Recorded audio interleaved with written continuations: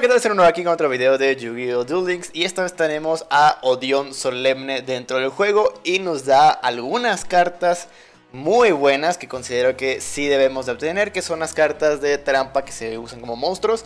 Tanto la carta UR como la carta SR son muy buenas, así que creo que es muy bueno farmearlo y también obviamente siempre por las gemas, ¿no? Entonces, hoy les voy a presentar eh, un deck que se puede usar tanto sin habilidad como habilidad, obviamente cambia un poco dependiendo si tienes la habilidad. Pero bueno, primero les voy a mostrar la versión sin habilidad. Por el hecho de que lo pueden usar con cualquier personaje. Entonces estoy seguro que muchos van a querer usar a Lumisiumbra. Y bueno, de hecho, este deck lo verán un poco diferente a la repetición por el hecho de que antes tenía pasaje y luego dije, oye, pues no se necesita. De hecho, al final lo digo. Pero bueno, este deck se concentra en sacar a Jinzo, ya que en el momento que saques a Jinzo, pues ya, Odeon no puede hacer nada. El deck de Odeon son puras cartas de trampa, nada más tiene dos cartas mágicas, pero son para robar. Jinzo hace todo el trabajo, entonces tenemos varias cartas también para sacar a Jinzo. Yo sé que algunos no van a tener a Jinzo Ejector porque te la da Sparroba al nivel 45 pero la puedes sustituir con cualquier carta que se pueda invocar especialmente. Obviamente James Ejector es lo mejor, si la tienes, ponlo obviamente. Y también Ola de Choque Psíquico, esta carta te la da Sparroba por farmearlo. Entonces también es muy buena para poder sacar a Jinzo de jalón. Y bueno, como estamos buscando convocar a Jinzo, tenemos cartas para invocar especialmente. Pueden rellenar con enaterios. Hay más cartas de convocaciones especiales. Eh, al rato les voy a mostrar el otro deck, que ahí tienen más cartas de invocaciones especiales. Y también tenemos a los Curibos con la flauta de, de invocación de Curibo Puedes sacarlo desde el deck, ponerlo en el campo, eso te acelera el deck y aparte tienes un monstruo para que te proteja o en todo caso para que lo puedas sacrificar. Dependiendo, si no te mata en ese turno con los ataques que te está haciendo, lo puedes usar para sacrificarlo en el siguiente turno, pero si te va a matar, pues bueno, lo usas y ya te proteges un rato. Y también como vamos a estar sacando curibos, podemos usar cartas del cielo para acelerar un poco el deck. Y aparte, bueno, estoy usando eh, otra carta extra que viene bien contra Odion. Esta carta la obtienes de la caja de los Six. Fuente mágica. Lo que hace es que por cada carta de magia o trampa que tenga tu oponente boca arriba, tú vas a poder robar cartas. Y al final vas a descartar cartas dependiendo de cuántas cartas tú tengas boca arriba. Como no vas a tener ninguna, pues ya es como que, ah, bueno, te quedas las cartas. Entonces está perfecta para, para ir contra Odeon. Entonces, esa es una opción que le estoy dando. Y bueno, lo último es el como final. Vas a tener a los dos Jinzos, vas a convocar a tu vasallo y vas a ponerle doble ataque unido y listo. No usamos pasaje porque pues Jinzo ya nula todas sus trampas, todos sus monstruos. En caso, en caso de que te invoque a un paleozoico, eso si se quedan en el campo, los destruyes. Es lo único, la única restricción que vas a poder tener. Los paleozoicos. Ya. Pero bueno, como dije, destruyenlos y ya está. Y bueno, ahora sí nos vamos a la versión con habilidad. La versión con habilidad es con eh, Sparroba. La habilidad es Iluminación Cósmica. Esta te permite robar a un Jinzo justamente cuando te hacen mil puntos de daño. Entonces está perfecto. Y ahora sí, nos podemos concentrar puramente en invocaciones especiales para aumentar nuestro win rate. Aquí le estoy dando muchas opciones. Tenemos primero el Dinaterio, también tenemos eh, los Caballeros de la Parada. Estos cuando te hacen daño puedes invocarlo especialmente y aparte invocar otra cosa especialmente que puede ser un Jinzo. También tenemos a Gilasaurus, que también se puede invocar especialmente. Y bueno, estoy dejando a los Curibus porque es la versión barata de todo, ¿no? Y también los Dinatorios. Y también tenemos a Basura Adelante. Esta carta sale en el deck de estructura de Yusei. Igual, si no controlas monstruos, puedes convocar esta carta de modo especial. Entonces está perfecto para convocar a Jinzo de un jalón. Como final, lo mismito. Vasallo con doble ataque unido y listo. El deck te da mucho mejor porcentaje de win rate que el otro pero no es tan rápido. De hecho, si te fijas, las únicas cartas que tienes para poder robar son la flauta de invocación y eh, ola de choque. Pero en el momento que tienes un Jinzo, pues ya esta carta se queda muerta. Entonces la única que tendría sería esto. Entonces, pues bueno. Se, queda un poco corto el deck, por eso es que me gusta más el otro, aparte que puedes aprovecharlo para ir sacando nuevas habilidades para los hermanos paradoja, iba a decir otra vez. No, para, para Lumis y Umbra.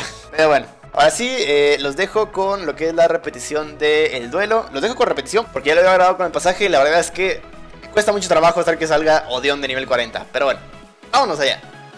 Pero bueno, vámonos a lo que es el duelo. Vamos a cambiar a este vato. Como dije, yo sé que la mayoría va a querer estar subiendo de nivel a este güey. Y que también va a querer farmear sus habilidades. Así que son, son muchas cosas que puede hacer de una sola. Lo malo es que si no tienes habilidad, pues bueno, se te reduce un poco el win rate. Pero aún así es un muy buen deck ya que tenemos muchas cartas para sacar a Jinzo de jalón. Y perfecto, ya tenemos a un Jinzo y aparte ya tenemos Hola, el choque. Entonces ya con eso, GG. Mira, de hecho puedo de una buena vez convocar a un Kuribo y sacrificarlo. Pues vamos a hacer eso. Lo único que no puedo hacer con la flauta es hacer invocaciones especiales. Entonces voy a convocar de una vez al Kuribo. Boom. Boom. boom. Embodiment of Puffis. Ok, vale, me lo va a destruir. Vale, vale. Digo, o me destruye, o me destruye a mi Kuribo, o me destruye mi carta boca abajo. Pero no hay ningún problema, sigo teniendo mis cartas. Vamos a ver la animación.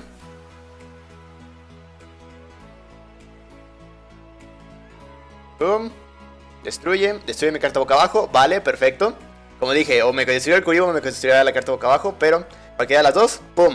Ya, GG, se acabó. se ha terminado el duelo.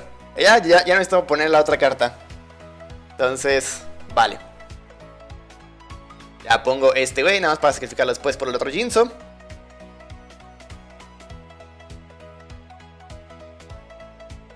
Y bueno, Seno del futuro aquí les recuerda que el pasaje secreto no es necesario. Recuerden que esto es la grabación porque Odeon casi nunca sale. Pero bueno, sigamos. Vale. Y listo, convocamos el segundo Jinzo y ya está, ya tenemos todo. Y ahora sí, ya nada más es esperar hasta el último turno y esto es Shishi. Como dije, sacar Jinzo primer turno. Acaba. Eh, Odeon no puede hacer absolutamente nada ya que ya hay un Jinzo en el campo. De hecho, eh, eso es lo que ya habíamos pensado desde que se filtró. Fue como que hmm, lo más seguro es que use puras cartas de trampa. Así que vayan preparando a sus Jinzos. Vayanlos puliendo.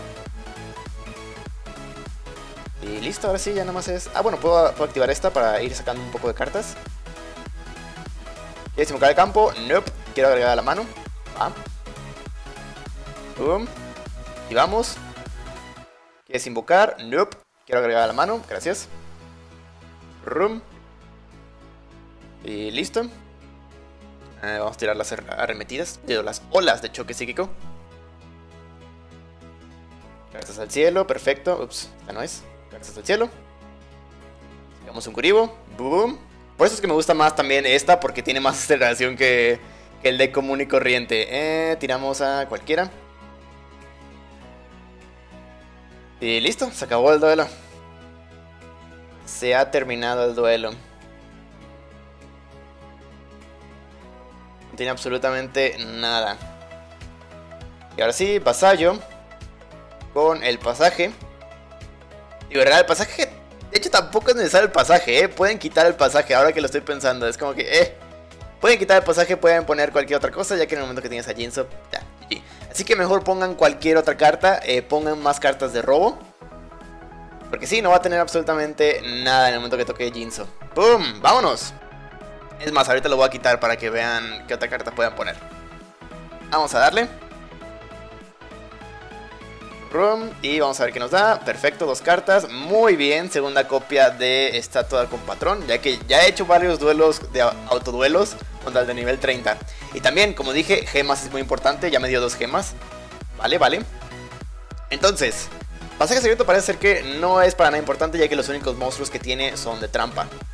Y según yo, no existe ni uno solo que se pueda quedar en el campo. Entonces podemos quitar esta carta y podemos poner cualquier otra carta. Pueden poner otra carta de robo. Pueden poner más cartas para invocar especialmente, como otro dinaterio, cosas así. Y listo. Igual, el otro deck lo pueden cambiar un poco. Pero bueno, espero que les sirva este deck. Espero también les haya gustado el video. Recuerden dejarle like si así fue. Por mi parte, eso será todo. Muchas gracias por ver el video. Eh, también no olviden suscribirse al canal si aún no lo han hecho. Y también no olviden compartir el video porque si a ustedes les sirvió, puede que a algunos amigos también les sirva. Nos vemos en la próxima. Bye bye.